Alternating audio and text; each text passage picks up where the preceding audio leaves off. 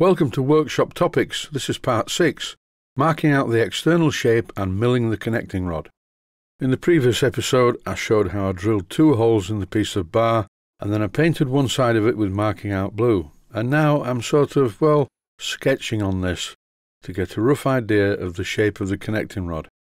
The good thing about using some marking out fluid, or alternatively, if you're using some spray paint, if you make a mistake, you can paint out the error because you're not really scratching the metal very much, you're just removing the layer of the blue stuff and using the very visible silver lines of the bare metal to show you where to cut.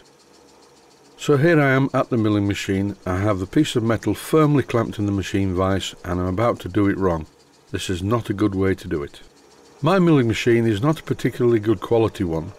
The milling cutter is held in a drill chuck, and by the way this drill chuck never drops milling cutters, that's why I use it but it's fitted to a Morse taper number 2 that in turn is fitted into an R8 taper.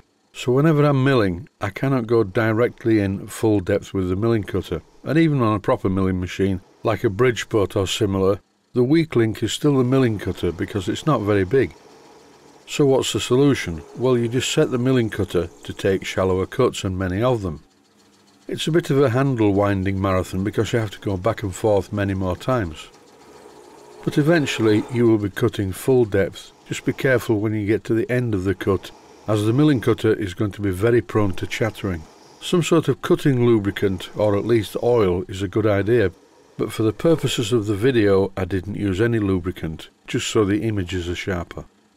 Originally this was going to be the connecting rod for the Tangye engine that I'm working on, but then I changed my mind and I thought I would be able to make two or three videos showing how to mill a coupling rod or a connecting rod in detail. In this clip for instance I'm machining a part of the connecting rod that I wouldn't normally need to machine. But there's a good reason for this and I will show it in the next video. For now though I'm just trying to show in detail how to use a milling cutter without A. breaking it or B. making a thorough mess of the work or a combination of the two. If I was just milling the edge of a rod then I could use the cutter full length but the minute that I come into the work it starts to scream. But as you can see and hear, provided I don't push the milling cutter into the work, I can use the side of the end mill full depth and it doesn't make much noise, it just removes the metal. It's cutting beautifully at the moment and it's not making much noise at all. And in the case of this particular operation I have to be very careful because the milling cutter is not cutting against the work when it gets to the end of its travel at the right hand side and that's why I haven't cut up to the line. What I'll end up doing is once I've machined some of this material away, when I machine the curved part at the right hand side, I'll revert back to using very shallow cuts and many of them, or this will happen. Now I need to take a cut towards me, and once again I've lifted the milling cutter and I'm taking a succession of very fine cuts. Well, not that fine, but not heavy duty ones. As I lower the position of the milling cutter, it's much more likely to chatter when it gets to the end of the travel. In common with many metalworking operations, you do need a delicate touch. A noise like this can cause major problems, not to mention you will not get a very good finish. This is going to be easy to see because I've moved the milling cutter over to this side.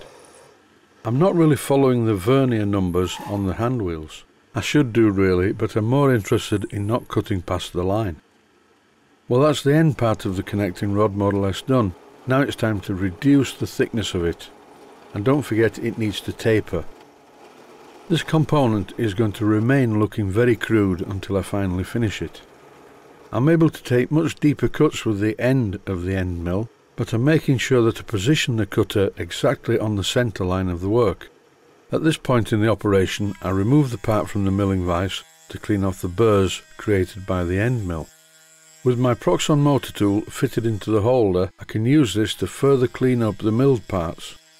The finish isn't bad from the milling cutter, but it's going to look a whole lot better after the Proxxon motor tool's done its work. Back now to the milling machine, I've mounted the blank back in the machine vise and I'm machining off the excess metal from the other side, and now it looks like this. As I mentioned earlier, in the next video I'm going to show how to profile a coupling rod end or a connecting rod. I've started to round the end of the connecting rod using my 1 inch belt sander. And although I'm not going to use this connecting rod on the Tangye engine, In this clip, with the help of a scriber, I'm showing that I need to remove quite a lot of metal yet to make it fit in place. And I will also show how to do that in the next video. But that's it for this one, it's time for me to go. As I'm voicing over this video, it's December the 31st, 2018, so I would like to take this opportunity to wish all of my Patreon supporters a very happy new year. But if you're not one of my Patreon supporters, then you're probably going to be watching this video around February 2019. Happy New Year anyway. Thanks for watching and I hope you found it useful.